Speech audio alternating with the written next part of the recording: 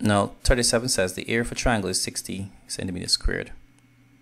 Um, and its base is 12 centimeters. What is the perpendicular height of the triangle? Alright, so perhaps we'll draw a triangle like this. Alright, um, base being 12 centimeters. And um, perpendicular height, we don't know.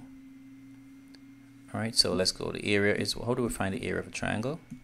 It's half times the base times the height. We know we're told that the area is 60. Half times the base. Base is 12. And the height, which is perpendicular, we don't know. Now we can work this out so far as 60 60 is equal to now half of 12 is 6 that's 6 each. Alright?